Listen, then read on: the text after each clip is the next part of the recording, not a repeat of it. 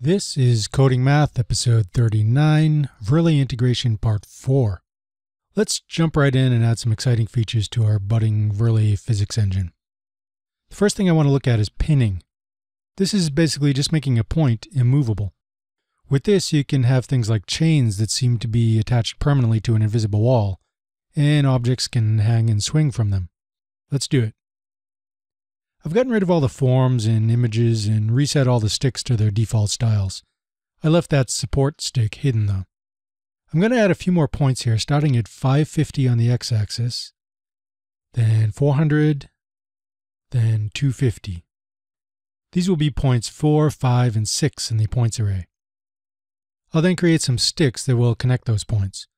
One stick will connect points 4 and 5, the next 5 and 6, and the final stick will connect points 6 and points 0, the top corner of the box. Let's run this and see what we get. Okay, we have a box with some sticks flopping off the end of it. Fair enough. Kind of neat, but not what we're after. On to the pinning. We'll just create a property called pinned on point 4 and set it to true. And that will magically just make everything work. No, of course it won't. We'll have to do it ourselves. Pinning means that nothing will be able to change the position of this point. Thus, it will have no physics, and sticks will not be able to adjust it. So let's go into Update Points, and make sure that we don't update the pinned points. We'll just break the vars here after getting p and say if not p pinned. If it's not pinned, then we'll get the vx and vy and do the rest. You probably saw the misplaced semicolon in the earlier code too. I fixed that. There's one more coming up though. Now, if the point is pinned, all of this other stuff in the loop will be skipped. We'll also do the same thing in constrained points. It's unlikely that any pin points would ever need to be constrained, but by filtering them out, we avoid a little bit of math. And then finally, down here in Update Sticks, just before we adjust each point, we'll check to make sure that it's not pinned. Technically, we could get a little bit more fancy here. We have an overall offset needed to move the points to the correct distance, and we're adding half of that offset to each point. So if we're not moving one of those points, we really should be moving the other point double to make up for that. But in practice, it's all going to work out just fine, especially if you're running a few iterations. Each iteration will bring it closer to the final length. Let's see what we have now. Nice, a swinging chain. This pinning is totally dynamic too. I'm going to throw in a click handler here. Inside that, I'm going to toggle the pin state of point 4. If it's pinned, unpin it. If it's unpinned, pin it. I'll run that, and our box is swinging, and then I click, and it all comes crashing down. I can click again and it repins wherever it happens to be. Click again and it unpins. I'm happy with that, and I'm sure you can take that all kinds of places. Next up, let's add some motion. Yeah, I know it's already moving, but let's give the system some energy of its own with some driven parts. We'll keep the same setup we have, but I'll comment out that click handler. Now point 4 is pinned, so its location is not going to be touched by any of the Verlet code. But that doesn't mean it has to be static. We can move it with some other code. For instance, we can move it back and forth using some trig. I'll add a couple of new variables, angle, set to 0, and speed, set to 0.1. Then down in update, before I update the points, I'll say points for x equals 500 plus math cosine of that angle times 50. And then I'll add speed to angle. This will cause the x position of point 4 to oscillate back and forth from 450 to 550. Let's take a look. And there it is, sliding back and forth, shaking up the rest of the system as well. Now, this is just a box hanging off a string, but you could use this to create any kind of mechanical device. Think of a railroad train with the wheels attached by a rod. One wheel is powered, that moves the rod, which turns another wheel. You can actually do this quite easily with this setup. Now let's abstract this. We don't really need a point that gets ignored by all the other point code. Instead, let's make a special object called an engine. This will encapsulate the base position, range, angle, and speed. I'll remove point 4 here. And up top, I'll remove angle and speed and replace those with an engine object. This will have a base x of 450, a base y of 100, a range of 100, angle of 0, speed of 0.05, and we'll set it up with an initial xy of 550, 100, what point 4 originally had. Let's also make sure that we set it to be pinned so that the sticks don't try to mess with it.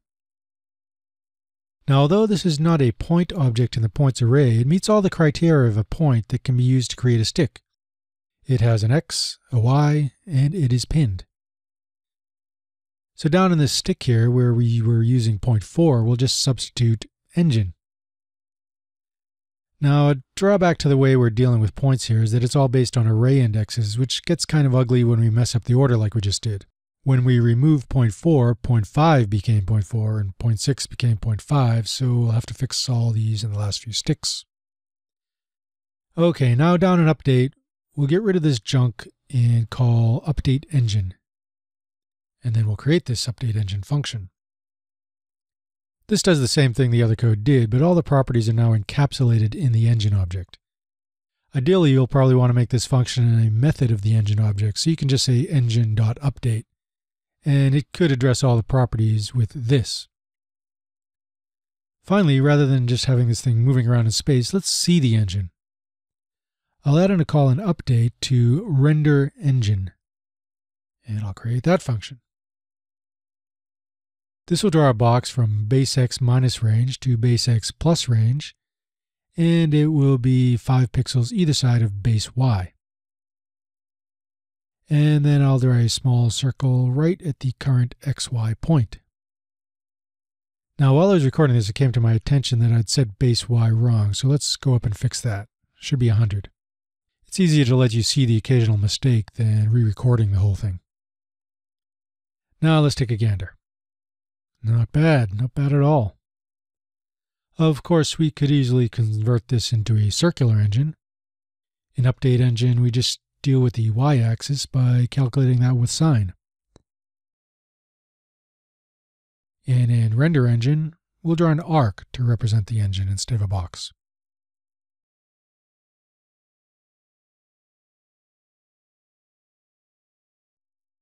And bam, we have a circle engine. Of course, these are only a couple of possibilities. You could have vertical engines, oval engines, sine wave engines, However you want to move that X and Y around, anything attached to it will move right along with it.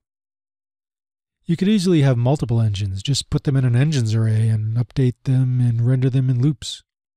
You could even have movable engines with the base X and Y are attached to one form and can move along with it, but the X and Y move something else. I'm just going off here. There are too many possibilities to explore here. Just go wherever it takes you. The last thing I want to address with this engine is the separation of the logic and data. Right now, everything is in one big file. It's a total mess. Eventually, you're going to want to abstract the engine into a nice reusable library. And you're probably going to want to save the models separately on a server somewhere and load them in dynamically. To do that, you need some way to serialize the models. Well, they're all basic JavaScript objects, so they're a perfect candidate for turning into JSON with just a few tweaks. Now I'm reverting back to an earlier state here. I got rid of all the engine stuff, and we just have one pinpoint and a swinging box. I've made a new empty file called model.json. In that, I'll create a single root object element and add an array for points and one for sticks. Don't forget that in JSON, properties need to be quoted. Now I'm going to go back to the script and cut out all the lines that push points and sticks onto their respective arrays.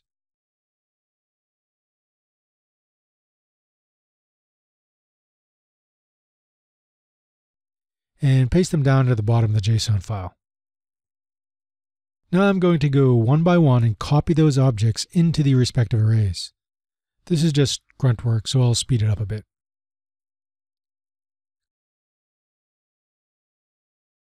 Now I'll do a bit of searching and replacing to put quotes around most of those properties. Sublime Text is pretty good at telling us what is not valid JSON.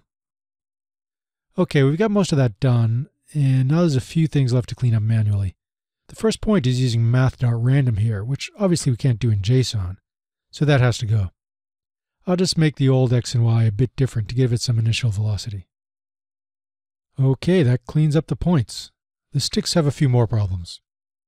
First of all, the length property is calling the distance function, no good in JSON. We'll just get rid of that altogether and calculate it when we get the JSON in and parse it in the code.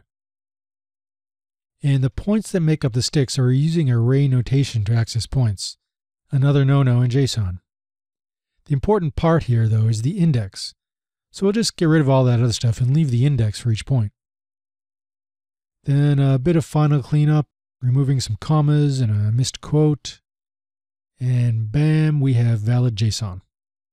Now, one thing I would recommend here is giving each point an ID, like so. This is much better than relying on indexes. As you recall, when we removed one point, we had to reindex all the sticks after that. If you were using IDs here, you wouldn't have that problem. Of course, you would have to add the code to find each point by its ID, but overall it will be much more robust. Now, I'm not actually going to use IDs here, but again, I highly recommend it if you're building out a full engine. Now to load this JSON, I'm going to stoop to using jQuery. I've already added it into the HTML document, so we can jump into the code here and use it. First, I'm going to remove this call to update because we don't want to start updating anything until we have all the data loaded in. Then I'll call jQuery getJSON, passing in the URL to the model JSON. Realize that this will all have to be done on a server, XML HTTP requests will not work on a local file system. This will get a success function that gets past the parsed JSON. For now, let's just log it so we know what we have. We run that, again, on either a local host or a server somewhere on the web and look at the console.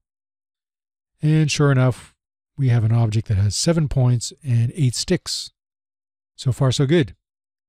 Now back in the code, we can replace that console.log call with a call to parse model passing in the data. We'll loop through the data points and assign each point to our main points array. Those are no problem. Then we'll loop through the sticks. We'll have to convert each point index into an actual point object. Initially, s.p0 is an integer representing the array index. We'll use that to get the point out of the points array and assign it back to s.p0. Then we can quickly calculate the length of the stick with the distance function and push that stick onto the stick array. Now this isn't all the most elegant code. I'm sure you want to do something much cleaner, but you get the point of what we're doing. Now that our model is being loaded and parsed, we can kick off the action by calling update. And we're back to a swinging box. Well, I hope you'd enjoy the series. I know it was a lot of fun for me, and I've given you a ton of information but there's lots of work left for you to do. I look forward to seeing what you do with it. One thing you might want to try is building a graphical point and stick editor. I've done this a few times myself, and it's uh, actually a lot of fun. Okay, see you next week.